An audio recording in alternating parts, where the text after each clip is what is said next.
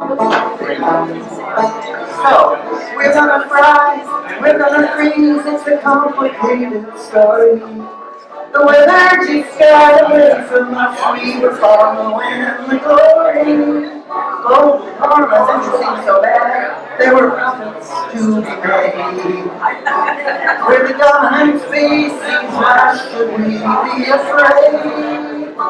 We're the dominant species, that's a matter of fact.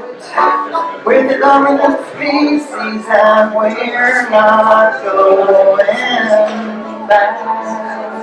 We're not going back. We're not going back. No, we're not going back. So I ask you, where are we going?